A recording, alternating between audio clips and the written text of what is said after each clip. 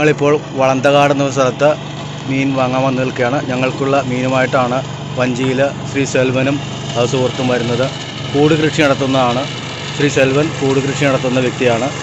അവന്റെ അടുത്ത സുഹൃത്തു കൂടിയാണ്. അദ്ദേഹത്തിന് അദ്ദേഹമാണ് ഇതിനാവശ്യമായ ഈ ഇതിന്റെ പ്രസന്റേഷൻ ആവശ്യമായ മത്സ്യം തരുന്നതിന് നേരത്തെ ഏറ്റത്.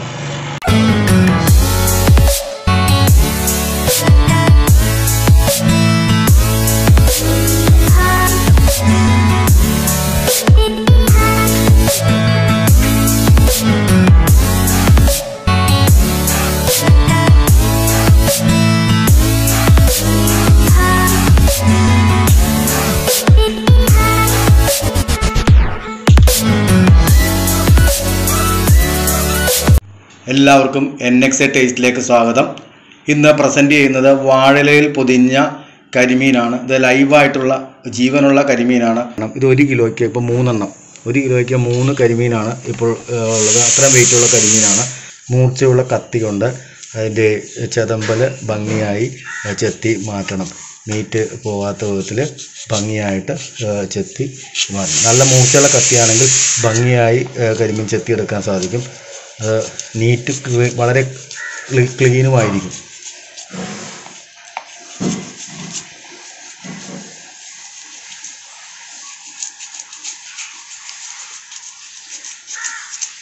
നല്ല ഫ്രഷ് ആയിട്ടുള്ള കരിമീൻ ആയതുകൊണ്ട് അതിന്റെ തൊലി വളരെ കൃത്യമായിട്ട് നമുക്ക് ലഭിക്കും. ചെത്തിയ ശേഷം മുള്ളുകൾ കരിമീന്റെ മുള്ളുകൾ വെട്ടി വൃത്തിയാക്കുക. ഇതിൽ ശ്രദ്ധിക്കേണ്ട വാൽ മുഴുവനായിട്ട് മുറിച്ച് കളയരുത്. അതിന്റെ ഭംഗിക്ക് വേണ്ടി വാലിന്റെ തുമ്പ് മാത്രം മുറിച്ചാൽ മതി. വാൽ കൂടുതൽ മുഴുവനായിട്ട് മുറിച്ച് കളയരുത്. കുടലും മറ്റു വേസ്റ്റും എടുത്ത് കളയേണ്ടതാണ്.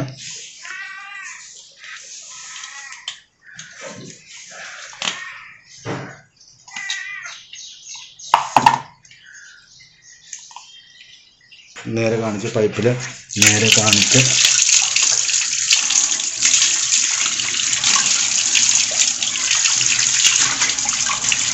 നന്നായി വാഷ് ചെയ്യുക വാഴയിലയിൽ പൊതിഞ്ഞ് പൊള്ളിക്കുന്നതിന് മുമ്പായിട്ട് ആദ്യം ഈ കരിമീന് ചെറുതായി മസാല പുരട്ടി. മസാല എന്തൊക്കെയാണ് ചേർക്കണമെന്ന് പറയാം. ഒരു ടേബിൾ ഒരു ഒന്നര ടേബിൾ സ്പൂൺ മുളക് പൊടി അര സ്പൂൺ മഞ്ഞൾപ്പൊടി അര സ്പൂൺ കുരുമുളക് പൊടി. ഈ ഈ ഒരു മീന് ആവശ്യമായ ഇപ്പോൾ ഉള്ള ഈ മീന് ആവശ്യമായ ഉപ്പ്. ഒരു പകുതി നാരങ്ങ പകുതി നാരങ്ങ.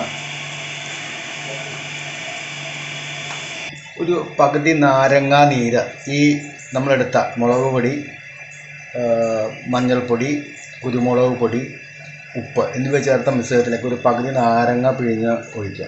നാരങ്ങ പിഴിഞ്ഞ് ഒഴിച്ച് അതൊന്ന് ചേർക്കുക. മസാല.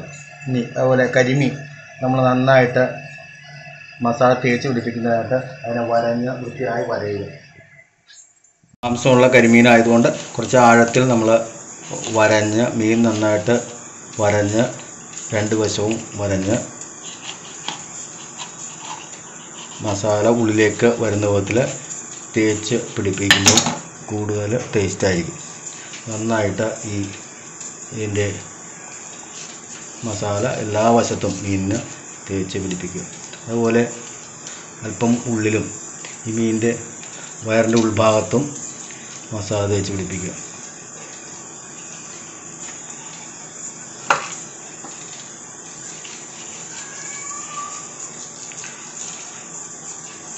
ഇതൊരു നാൽപ്പത് മിനിറ്റ് നമ്മൾ ഈ മസാല തേച്ച ആ മീൻ നന്നായി അതിന്റെ ഫ്ലേവർ മീനിൽ പിടിക്കുന്നതിന് അനുവദിക്കണം. സമയം. ഇതിന് ഒരു പാത്രത്തിൽ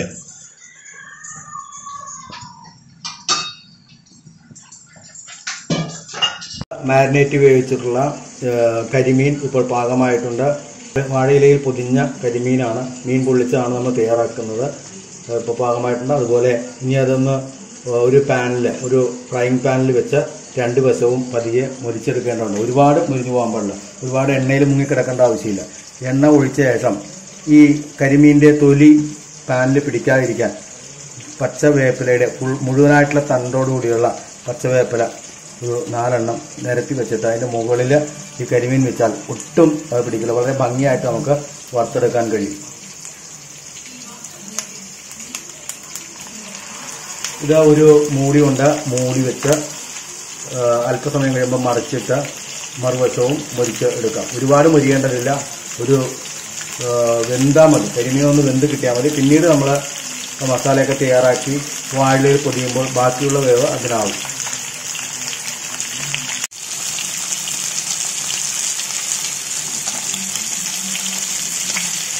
ഇതിന്റെ കഴിയും വെച്ച ശേഷം ഒന്ന് ഈ മൂടി വെച്ചാൽ പെട്ടെന്ന് അതിന്റെ ആവി കൊണ്ട് ഒന്നുകൂടി പെട്ടെന്ന് വേഗം വെന്ത് ഇതിന്റെ ഒരു വശം ഇപ്പോൾ പാകമായിട്ടുണ്ട്. ഇനി നമുക്ക് പതുക്കെ മറിച്ചു കൊടുക്കാം. ഇപ്പോൾ വേപ്പിന്റെ തണ്ട് വെച്ചതുകൊണ്ട് നമുക്ക് ഭംഗിയായിട്ട് ഒരു വശം വെന്ത് കിട്ടിയിട്ടുണ്ട്.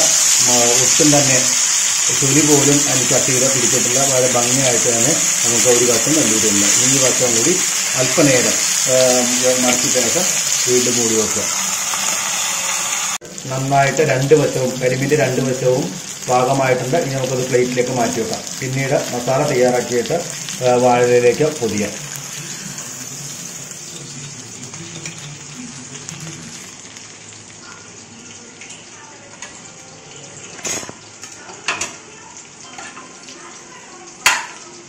പൊള്ളിച്ചത് പകുതി പാകമാക്കിയത് നമ്മൾ തയ്യാറാക്കി. ഇനി അതിന്റെ മസാല അതിന്റെ ഫില്ലിംഗ് ആയിട്ട് ആവശ്യമായിട്ടുള്ള മസാല തയ്യാറാക്കേണ്ടതുകൊണ്ട് അതിന് ഒരു പാൻ നമ്മൾ മുമ്പ് കരിമീൻ പൊള്ളിക്കാൻ ആ പകുതി പൊള്ളിക്കാനായിട്ട് എടുത്ത ആ പാനിൽ എണ്ണയുണ്ട്.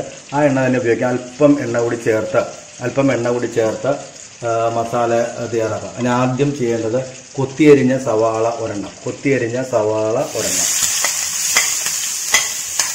കൊത്തിയരിഞ്ഞ ഉള്ളി ചെറുതായി കൊത്തിയരിഞ്ഞ ഉള്ളി ഒരു ആറെണ്ണം.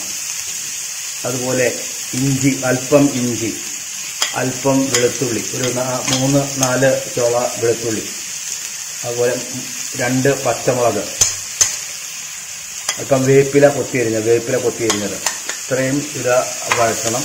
വഴന്ന് നന്നായിട്ട് വഴന്ന് വന്ന ശേഷം വന്ന ശേഷം അതിന്റെ മുളക് പൊടി കുരുമുളക് പൊടി മഞ്ഞൾപ്പൊടി എന്നിവ ചേർക്കാവുന്നതാണ്.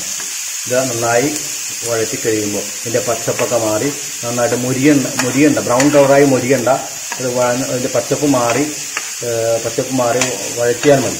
വഴറ്റി കഴിയുമ്പോൾ കുരുമുളക് പൊടി ചുവന്ന മുളക് പൊടി മഞ്ഞൾപ്പൊടി ചുവന്ന മുളക് പൊടി ഒരു ടീസ്പൂൺ കുരുമുളക് പൊടി ഹാഫ് ടീസ്പൂൺ മഞ്ഞൾപ്പൊടി രണ്ട് നുള്ള് എന്നിവ ചേർക്കുക. സവാള ഏതാണ്ട് വഴന്നു വന്നിട്ടുണ്ട്. സവാള ഉള്ളി പച്ചമുളക് ഇഞ്ചി അതിന്റെ പച്ചപ്പ് മാറി വഴ വഴറ്റിയ പാകമായിട്ടുണ്ട് ന- മണം വരുന്നുണ്ട്. ഇനി നമുക്ക് ഇതിൽ നേരത്തെ പറഞ്ഞ മുളക് പൊടി ഒരു ഒന്നര ടീസ്പൂൺ മുളക് പൊടി ഒരു അര ടീസ്പൂൺ കുരുമുളക് പൊടി മഞ്ഞൾപ്പൊടി ഈ മസാലയ്ക്ക് ആവശ്യമായ ഉപ്പ്. നേരത്തെ ഉപ്പ് കരിമീനിൽ പുരട്ടിയാണ് നമ്മൾ പകുതി വേവിച്ച് വെച്ചിരിക്കുന്ന പകുതി പൊള്ളിച്ച് വെച്ചിരിക്കുന്നത്. അതുകൊണ്ട് കൂടുതൽ ഉപ്പ് ചേർക്കരുത്. ഈ മസാലയ്ക്ക് ആവശ്യമായ ഉപ്പ് മാത്രമേ ചേർക്കാൻ പാടുള്ളൂ. ഇത് പാകമായി വരുമ്പോൾ ഉടനെ തന്നെ മസാല പൊടിഞ്ഞ് വരുമ്പോൾ ഉടനെ തക്കാളി. ഒരു തക്കാളി ചെറുതായി അരിഞ്ഞ ഒരു തക്കാളി ചേർക്കുക അപ്പോൾ നേരിയ പുളിപ്പും ഉപ്പും ഈ എരിവും എല്ലാം കൂടി നല്ലൊരു മസാല തയ്യാറാവും. ഈ മസാലയാണ് കരിമീന്റെ ഉള്ളിൽ അല്പം ഫില്ല് ചെയ്യണം. പിന്നെ രണ്ട് വശവും പുറത്തും ആയിട്ട് ഇത് ഫില്ല് ചെയ്ത് വാഴയിലെ പൊതിയാം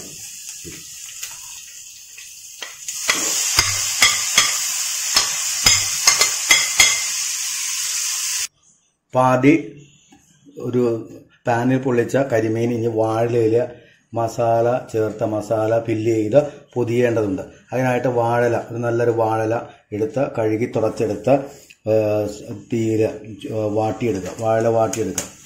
വാഴ വാട്ടിയെടുത്തില്ലെങ്കിൽ പൊതിഞ്ഞു വരുമ്പോൾ എല്ലാ ഭാഗവും പൊട്ടിപ്പോവും. വാഴ വാട്ടി നന്നായി വാട്ടിയെടുക്കുക.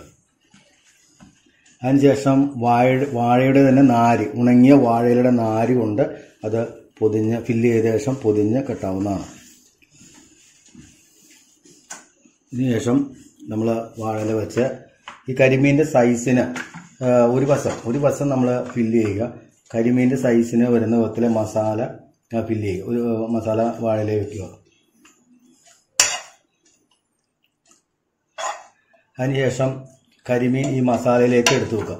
നമ്മൾ തയ്യാറാക്കിയിട്ടുള്ള മസാല സവാള ഉള്ളി തക്കാളി ഇഞ്ചി പച്ചമുളക് വെളുത്തുള്ളി എന്നിവ കൊത്തിയരിഞ്ഞാണ്. ഈ മസാല വായൽ വെച്ച ശേഷം ഈ കരിമീനിന്റെ ഉള്ളിലും അല്പം ഫില്ല് ചെയ്യാവുന്നതാണ് കരിമീന്റെ വയറ് ഭാഗത്ത് ഉള്ളിൽ കുറച്ച് മസാല ഫില്ല് ചെയ്യാവുന്നതാണ്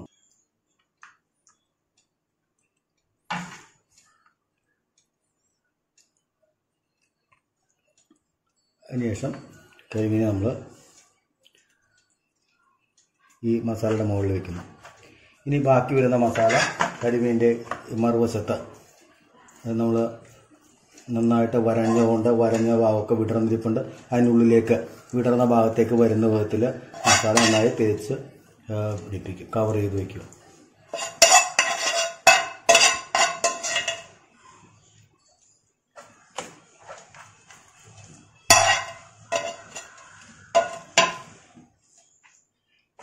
ഇപ്പോൾ കരിമീന്റെ എല്ലാ ഭാഗത്തും മസാല ആയിട്ടുണ്ട്. ഉള്ളിൽ കരിമീന്റെ വയറിന്റെ ഭാഗത്തും ഒക്കെ മസാല ആയിട്ടുണ്ട്. ഇനി ഈ ഇല വളരെ ശ്രദ്ധയോടുകൂടി നമ്മൾ പൊതിയുക.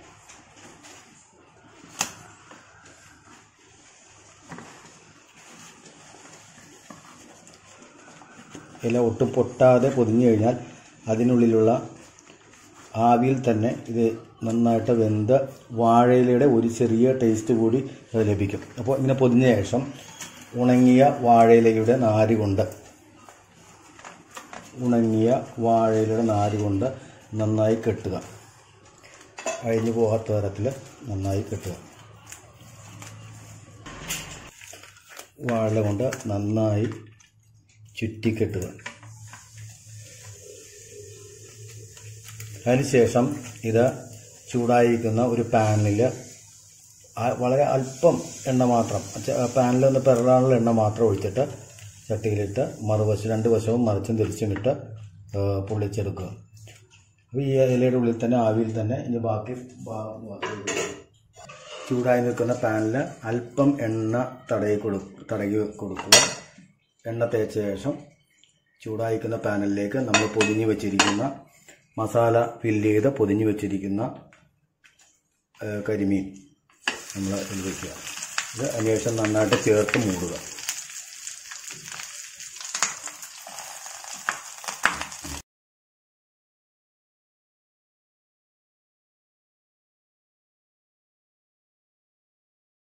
വശം നന്നായിട്ട് പാകമായിട്ടുണ്ട്. ഇല ഒരു ബ്രൗൺ കളറായി മാറിയിട്ടുണ്ട്. നമുക്കിനി ഇത് അടുക്കെ മറിച്ച് ഇടാം. ഇപ്പോൾ ഈ ഇത് ഒരു അഞ്ച് മിനിറ്റ് കൂടി ഈ ചെറിയ തീയിലിരുന്ന് അതൊക്കെ പാകമാവും. രണ്ട് വശവും ഇല ഒരു ബ്രൗൺ കളറാവും. അപ്പോൾ അതിന്റെ അർത്ഥം ഉള്ളിലെ മീനും നന്നായി പാകമായിട്ടുണ്ട്. മസാലയൊക്കെ നന്നായിട്ട് വെന്തിട്ടുണ്ട്. മീൻ പൊള്ളിച്ചത് പാകമായിട്ടുണ്ട്. രണ്ട് വശവും ഇല നന്നായിട്ട് മുരിഞ്ഞു. ഇനി നമുക്ക് ഇത് ഡെക്കറേറ്റ് ചെയ്യുന്നതിനായിട്ട് ഇത് ഗാർണിഷ് ചെയ്യുന്നതിനായിട്ട് ഒരു ട്രേയിലേക്ക് മാറ്റാം. ഇതിനെ ഓപ്പൺ ചെയ്ത് ഇതിന്റെ ഇല തുറന്ന് ഇതിന്റെ അവസ്ഥ നമുക്ക് നോക്കാം. ഇത് നോക്കാം.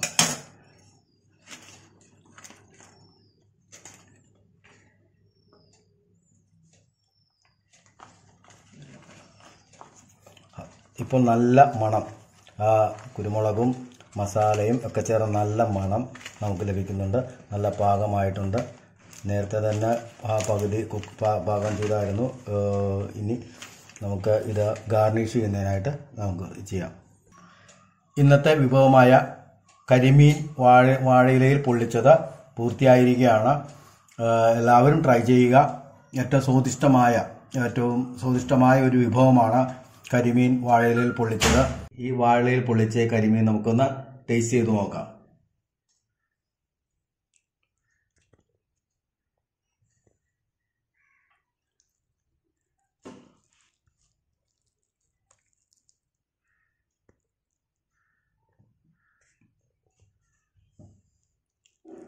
എടുക്കാതെ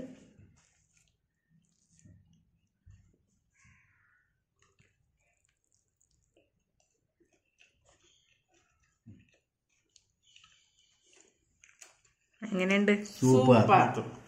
എല്ലാവരും എന്റെ അഭിപ്രായം രേഖപ്പെടുത്തുക. ഇഷ്ടപ്പെട്ടെങ്കിൽ സബ് ലൈക്ക് ചെയ്യുക സബ്സ്ക്രൈബ് ചെയ്യുക. അഭിപ്രായങ്ങൾ നിങ്ങളുടെ കമൻസ് രേഖപ്പെടുത്തുക. പ്രോത്സാഹനങ്ങൾക്ക് പ്രത്യേകം നന്ദി.